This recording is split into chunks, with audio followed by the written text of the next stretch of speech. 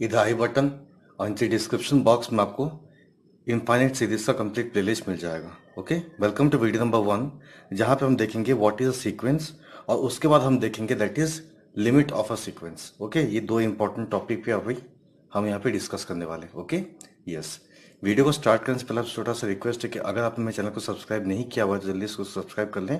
और वीडियो का आपको पसंद आता है तो प्लीज़ को लाइक करें और अपने दोस्तों में इस चैप्टर का ओके इनफाइनल सीरीज़ का कंप्लीट प्लेलिस्ट को शेयर करके अपना एक छोटा सा सपोर्ट दे ओके यस शुरू करते हैं what is a sequence okay sequence हम देखेंगे पहले सीक्वेंस क्या होता है okay yes an order set of a real numbers such as u1 u2 u3 up to un is called a sequence, okay? An order set of a real numbers. यहाँ पे जो numbers आएँगे u1 u2 up to you N तक का, जो numbers होंगे वो अपने क्या होंगे? Yes set of real numbers रहेंगे। और ये जो सीक्वेंस है ओके ये जो ऑर्डर सेट है, ये ऑर्डर सेट को हम क्या बोलते हैं? That is a sequence okay an order set of a real number such as u one u two u three okay dot dot u n is called a sequence जहाँ पे u n को हम क्या बोलते हैं? Nth term of a sequence okay u n को हम क्या बोलते हैं? Nth term of a sequence yes it is denoted by sequence को हम डिनोट कैसे करते हैं? Yes un okay it is denoted by this un okay yes if the number of terms if the number of terms in a sequence if the number of terms in a sequence is infinite okay जैसे यहाँ पे यहाँ पे मान लो अपने पास कितने terms हैं n terms हैं ओके यस तो ये पूछ रहा है कि अगर अपने पास जो नंबर ऑफ़ टर्म्स है किसी भी सीक्वेंस में अगर ये इनफाइनाइट है then it is set to be an infinite sequence okay then it is said to be an infinite sequence. Otherwise, it is a finite sequence. मतलब ये है कि अगर हमारे पास यहाँ पे ये जो सीरीज़ है, ये अगर इनफाइनाइट तक जा रहा है ओके या फिर आप ऐसा बोल सकते हो कि ये अपना जो सीरीज़ है, इसमें जो नंबर ऑफ़ टर्म्स है, वो कितने हैं अपने इनफाइनाइट है।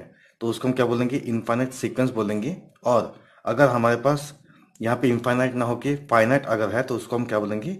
फाइनाइट सीक्वेंस फाइन ओके अब हम देखेंगे second that is limit of a sequence के बारे में ओके okay? ये एक इंपॉर्टेंट टॉपिक है limit of a sequence okay yes इसका डेफिनेशन देख लेते पहले yes a sequence u n tends to a finite number okay u n की वैल्यू एक फाइनाइट नंबर होगी L let suppose finite number कौन सा अपना है? L as n tends to infinity okay yes if ये कंडीशन सेटिस्फाई करे तब for every epsilon greater than zero epsilon अपना कोई एक पैरामीटर होगा, एक नंबर होगा, जो कि क्या होगा? ज़ीरो से ग्रेटर होगा हमेशा।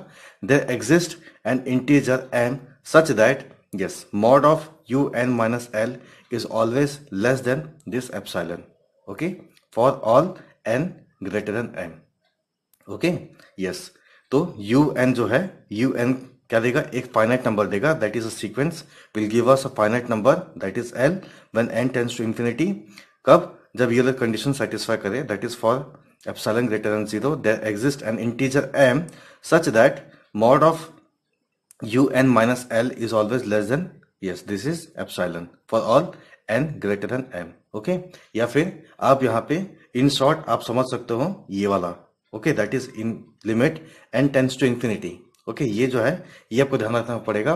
अगर आप लिमिट ऑफ़ अ सीक्वेंस को पढ़ रहे हो तो okay that is limit n tends to infinity u n equals to अपना क्या होगा? एक फाइनाइट नंबर होगा, जिसको हम डिनोट करेंगे यहाँ पे एल से ओके ये एल अपना क्या है? एक फाइनाइट नंबर है। आई बात समझ में? तो इस वीडियो हमने दोनों चीज़ देखा okay that is what is sequence और दूसरा अपने देखा that is what is a limit of a sequence okay अगले वीडियो में हम दो और इंपॉर्टेंट पॉइंट पे डिस्कस करेंगे दैट इज़ मोनोटोनिक सीक्वेंस क्या होता है और बाउंडेड सीक्वेंस क्या होता है ओके okay? तो ठीक है, देखते हैं नेक्स्ट वीडियो में थैंक यू सो मच